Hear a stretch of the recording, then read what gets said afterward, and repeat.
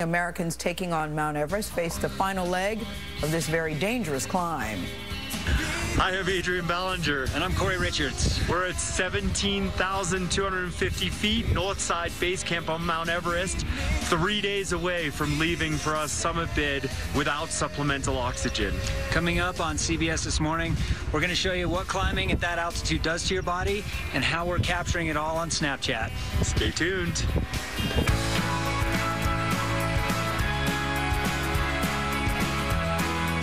Developments on the two professional climbers documenting their journey up Mount Everest on Snapchat. Adrian Ballinger and Cory Richards left base camp in Tibet today to begin a six-day climb to the top. In an interview you'll see only on CBS this morning, they show us their plans for the summit. Dana Jacobson is here with how they also survived a dangerous night on the mountain. Dana, good morning. Good morning. When we last checked in with professional climbers Adrian Ballinger and Cory Richards, they had just been hit by this monster storm on the north side of Mount Everest. And while they were unharmed, it was a stark reminder of how dangerous this mountain is, particularly for two men climbing without the help of extra oxygen. 27,000. It's windy. When Adrian Ballinger and Cory Richards faced a brutal storm. Tent's collapsing on itself. With winds approaching 50 miles per hour. We just got out and dug it out. Their bodies were already depleted from climbing to nearly 25,000 feet where the air is thin. Your body is, is literally starved of oxygen, so everything that you do makes you out of breath. We've made the decision now that with this kind of weather, no seeming break, we've got to go down. Everest! We were battered the next morning, and what you're seeing in the photographs and sort of the snaps is is just pure exhaustion. We just got our asses handed to us. if I was thinking anything in that moment, it was that I, uh, I wish I had become like a surf instructor or a beach bum or something as a career instead of a, a high altitude mountain climber. Ballinger has led over 100 climbing expeditions on five continents as the owner of Alpenglow Expeditions, while Richards was named one of National Geographic's Adventurers of the Year in 2012. Both men are part of Eddie Bauer's guide and athlete team these mountains, they they break us. They bring us to the edge, and finding where that edge is, and then figuring out if we can still achieve beyond that. That's that's what I love about this. Well, here we go again. And so the very next day, we woke back up. The weather looked good. We felt okay, and we went and decided to tag as high as we possibly could on the mountain. In order to eventually climb without oxygen to the top of Everest at more than 29,000 feet, the two men have to adjust to higher altitudes slowly.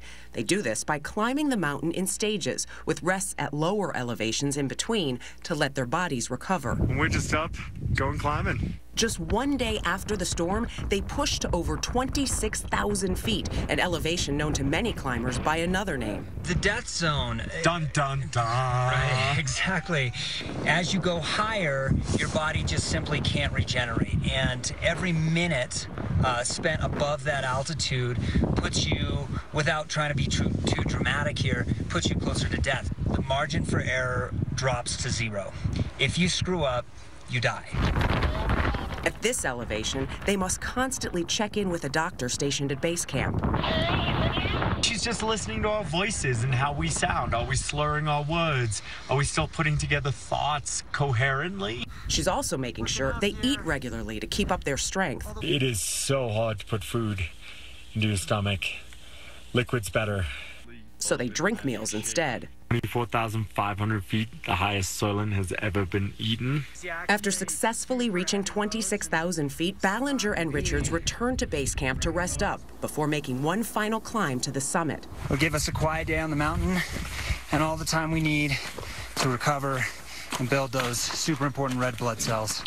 They plan to make their final push after most of the other climbers on the mountain, who are using extra oxygen, have summited, giving them a clear path to the top.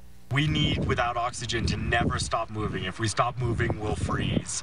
And so we need a day without a lot of other people on the route, and we think we're going to get that in about a week's time. Fingers crossed. Ballinger and Richards are uploading their climbing data every day to an app that's called Strava. It's a social media network for athletes and another one of their sponsors, actually.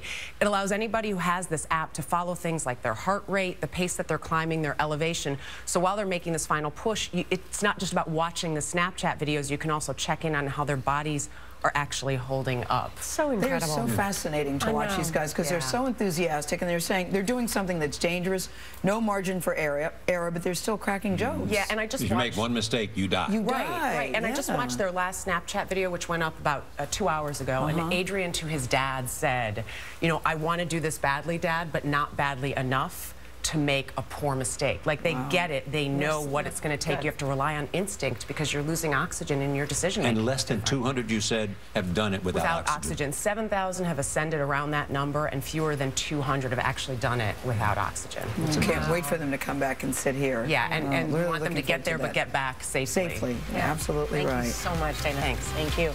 And we have more from Adrian and Cory online. See how their crazy mountain hairstyles led to the creation of the new hashtag Hair by Everest. what do you think, Charlie?